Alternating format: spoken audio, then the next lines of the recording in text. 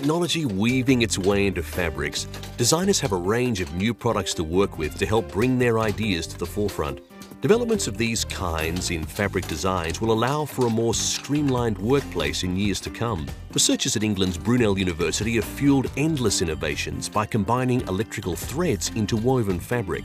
The smart fabric incorporates silver, copper, carbon, or stainless steel threads into traditional materials to create an electrically sensitive product to work with. Revolutionizing the way in which humans interact with technology, the development opens a world of possibility for future progression and research.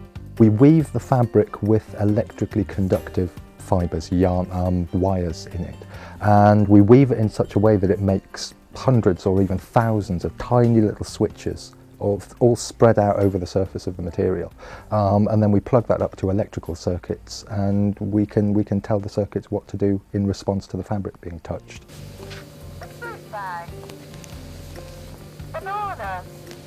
Early success has meant that design makers have made television remotes embedded in cushions, as well as talking jackets and bags as an aid for the disabled.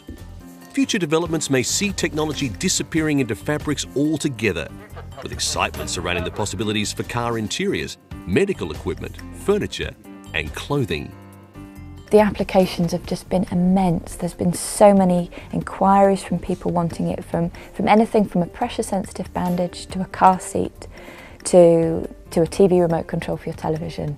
The, there's, there's so many, part, well, part of the problem has actually been concentrating on one application because we're so excited by it all that we, we, we want to put it everywhere there's a piece of fabric. The successful fusion of textiles and electronics is expected to enable a range of potential inventions, allowing a new avenue for product design the world over. Also in the UK, Catherine Busaki is incorporating fibre optics into fabrics to create window dressings, curtains and hangings that double as light installations. Her aim is to design functional pieces that double as a calming and relaxing tonic.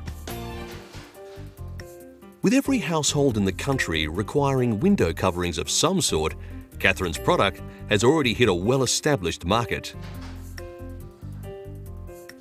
During the day, it would, it would cover or decorate a window, but at night it would be the only light source in the room, and also that would, um, when, when you just have fibre optics on, it's very harmonising, quite a calming effect. it's mesmerising, you can just watch the lights and you immediately you're calmed down.